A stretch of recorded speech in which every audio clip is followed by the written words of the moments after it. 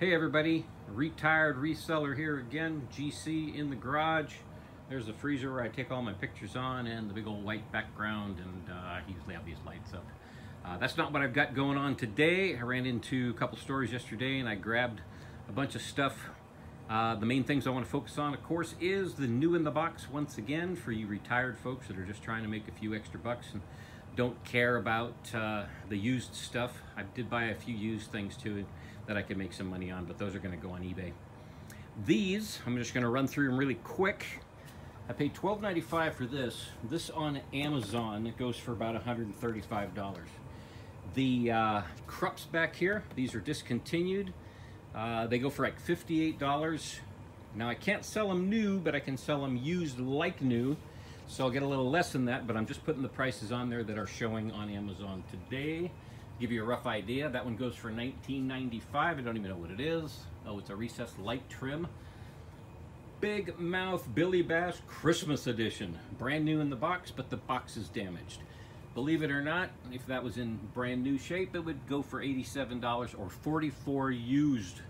So I'll get somewhere in the middle of uh, that because I am going to sell it uh, as used but never um, uh, still in the box. Just box. I'll put box damaged or something like that, and then I'll pick a price halfway between those, the used and the new, and that'll sell.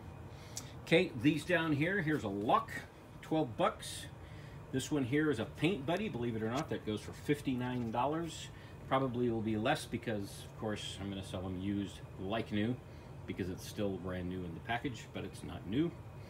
Uh, I can't sell them new anyway. This is a vest, uh, $15, and these are vacuum cleaner bags. And they go for about 14.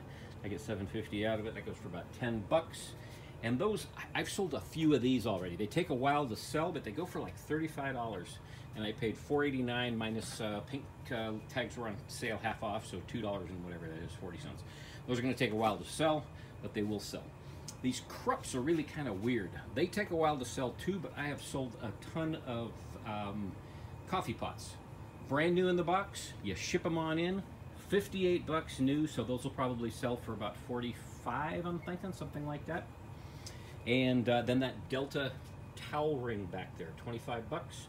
So it'll probably sell for around 20 because I always drop it down a little bit. I'll put new, uh, used like new in the box, never taken out. And that is what I have for today. It wasn't a lot, but uh, it was just a quick thing.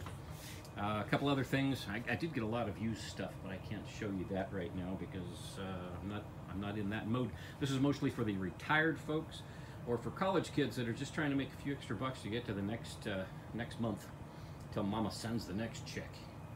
Uh, that's it. Um, if you like these videos, like and subscribe. Leave a comment. That's the most important thing. Just say, hey, these things are terrible, or hey, I'm learning some things. Quick video. I'm out. Hope you have a nice weekend because I'm gonna.